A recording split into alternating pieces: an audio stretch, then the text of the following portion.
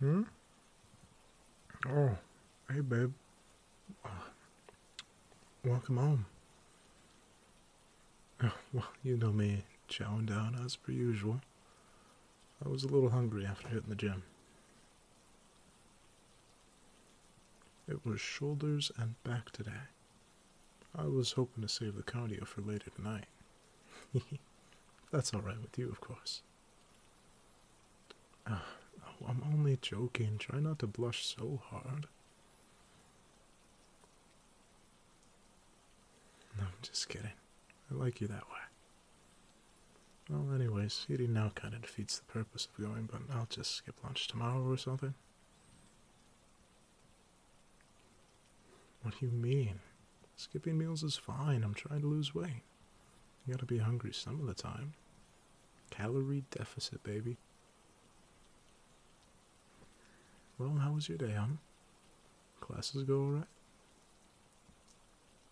Hmm. I am not changing the subject. I would just rather not talk about my body dysmorphia, and I'm always interested in your day. Look, I appreciate the words, but I I don't know why I feel like this.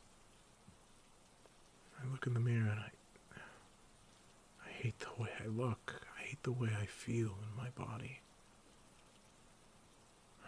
Yesterday, one of my gym friends, Nick, asked me how I managed to get with you. I might be lying if I said that didn't sting. I already know I'm out of your league, but he didn't need to say it like that. I guess that comment just kind of pushed me over the edge. I was in the gym for two hours today, this is my first meal. I, I just never feel good enough.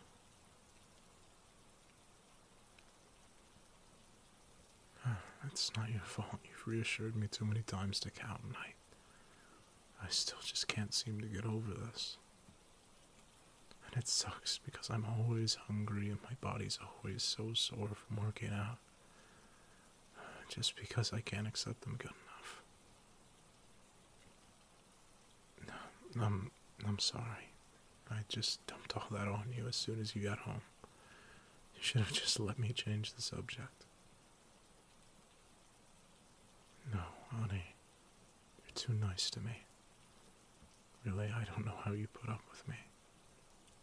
Thank you. I know I don't have to thank you. I just want to. I should have brought it up sooner, I know. Are you sure, dear? You haven't really gotten to sit down and relax, have you? No. Alright, if you say so, I could really use some attention right now.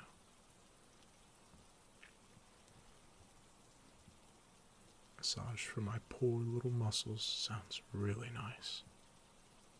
Especially if you'll be making me use them later. That's that face again. Yeah, I was working on him a little bit while I was eating, so I got the oil out. You're funny. Everything hurts. I guess you can start on my shoulders, though. I could just sit down between your legs and you can sit on the couch and wind down a little bit. Hey, what can I say? I'm always thinking about you. I can't be stopped.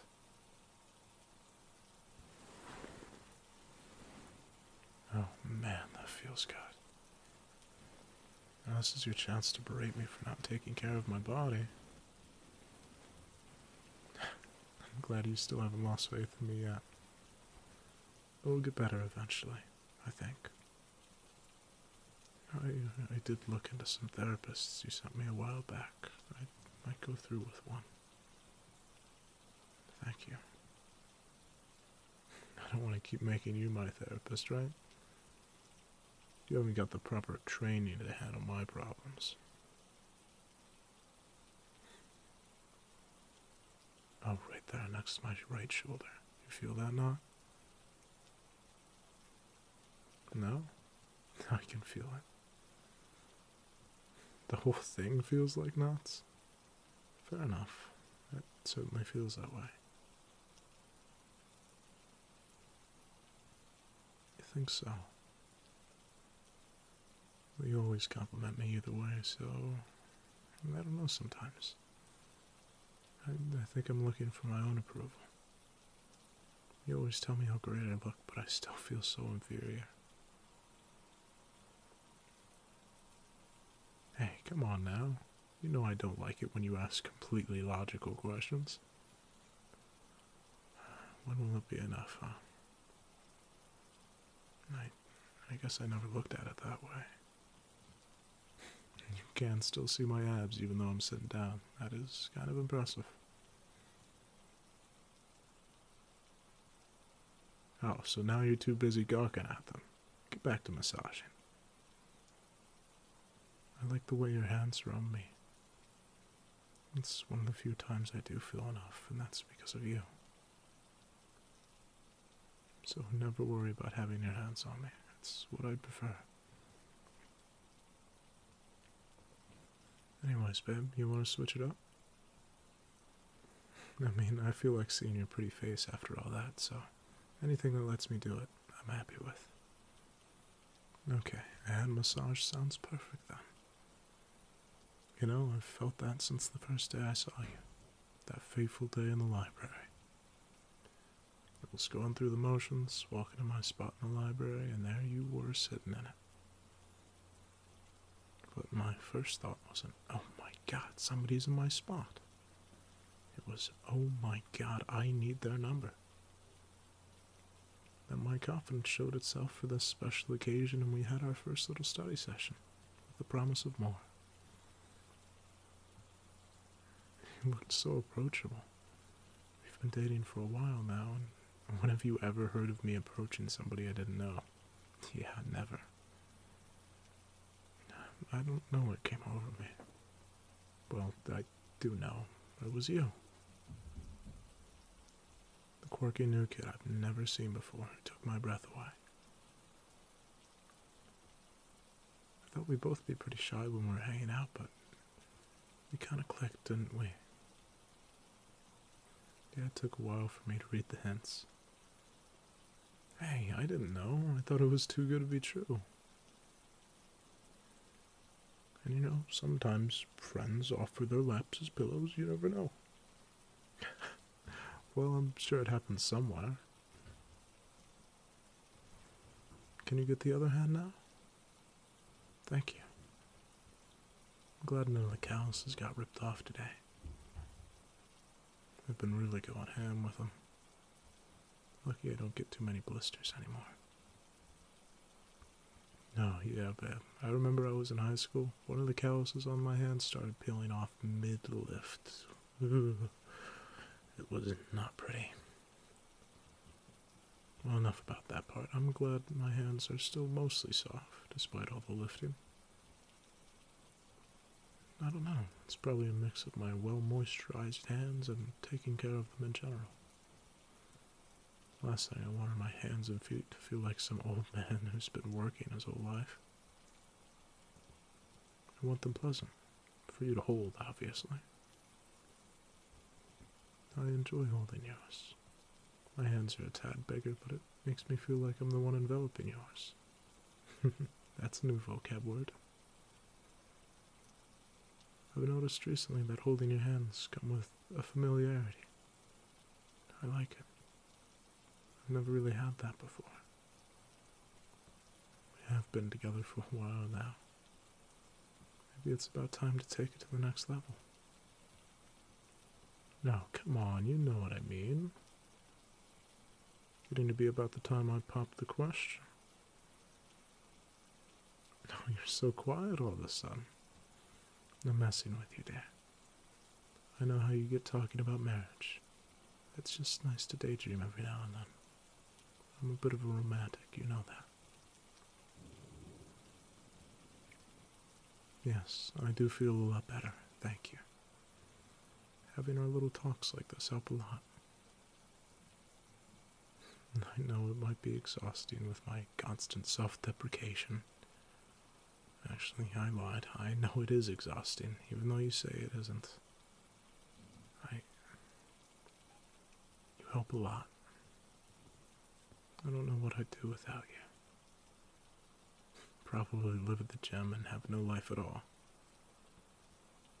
I think even a couple months ago I felt worse about myself now. It really only pops up anymore when a situation like Nick happened. Hopefully soon I'll have the level of confidence you have in me. Oh, I guess I never told you, did I? Oh, honey, there's a reason you don't see any pictures of me when I was younger. That was the one tubby little bastard.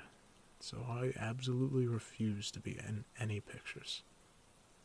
I still strutted around with a lot of confidence, which helped making friends, but pictures were always the one no go.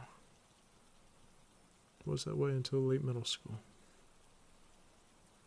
All my friends started to get into sports, and there was no way I was getting left out of that, so I joined the weightlifting program, and that's when it all started. The more I worked out, the less I hated the way I looked, but it was still never enough. I suppose those first 12 years of never really being looked at are a little tough to beat.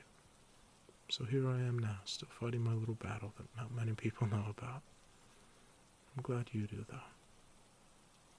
You've never judged me for it, and I love that about you. You always have my back. I still have a lot of trouble posting pictures online. To me, it's like, no one cares. No one wants to see you with your shirt off. Keep that covered up. Even when I think about it a little more and dismantle it, that feeling still doesn't go away. It lingers until some sort of validation, usually from you.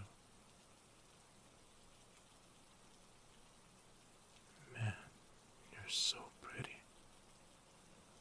Do you always listen so intently when I'm talking? Thank you. Sometimes I don't notice when I'm lost in my words. It might be weird to say about your significant other in a relationship, but I admire you. Inside and outside a relationship. You're always so caring and thoughtful. I want to be like you. you have no idea how it feels to be in a relationship with someone you kind of see as a role model. I mean, sure, we might argue occasionally, but but I still strive to have just a bit of some of your qualities. I'm rambling. Don't give me that face. I had to stop eventually, right?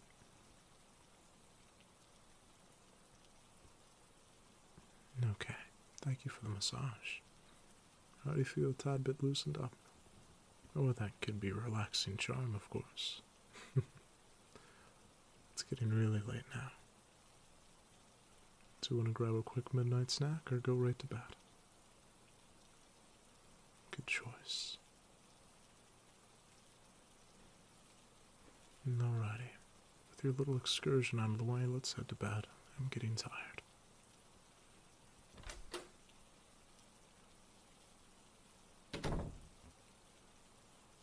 Doing that much talking really takes it out of you. Would you like me to talk you in? Hey, I'm just. I just kind of figured you were doing so much for me earlier, I'd at least try and return the favor. yeah, I always try to. Thank you for even noticing that. Believe me, I never forget your little acts of kindness. No, not tonight, sweetheart. I'm tired. I'm sorry. I know I mentioned something about it earlier. Maybe we could just wake up a little early. Wink, wink, shove, shove. Noki dokie.